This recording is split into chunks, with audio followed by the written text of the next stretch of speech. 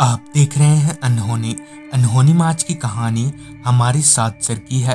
प्रकाश जी ने। तो चलिए बढ़ते हैं आज की इस कहानी की ओर।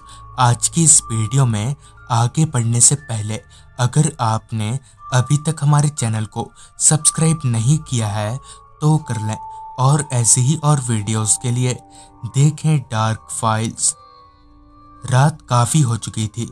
मेरी कार हाईवे पर पूरी रफ्तार से दौड़े जा रही थी।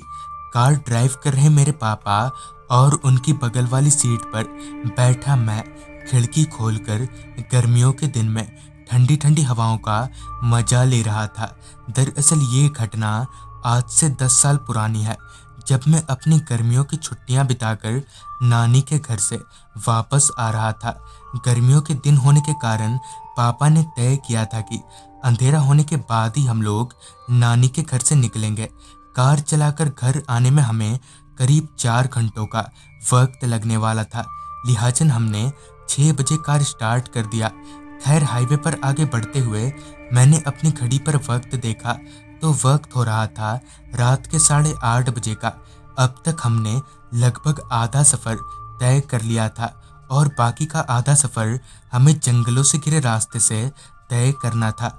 हवाओं को चीरती हुई हमारी कार दौड़े जा रही थी कि तभी कार धीमी होकर झटका खाने लगी और एक तो झटकों में बंद पड़ गई।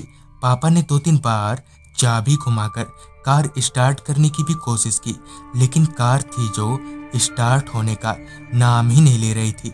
लिहाजन पापा कार का दरवाज़ा खोलकर बाहर निकले और उनके साथ मैं भी कार का बर्नट खोलकर पापा इधर उधर हाथ घुमाने लगे।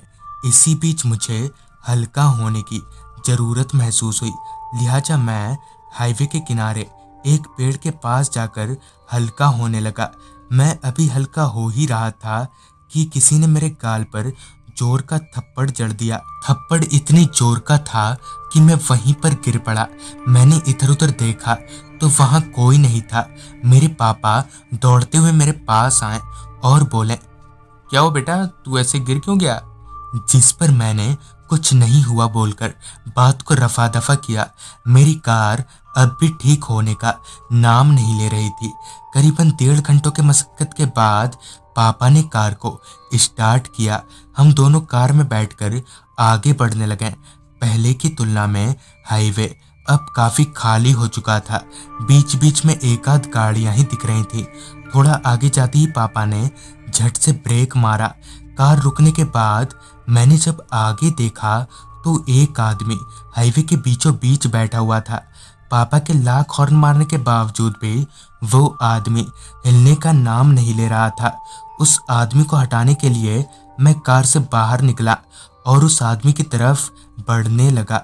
मैं अभी आगे बढ़ ही रहा था कि पता नहीं कैसे वो आदमी अचानक से मेरे सामने आकर मेरा गला पकड़ लिया। उस आदमी की शक्ल देखकर मेरे होश उड़ गए।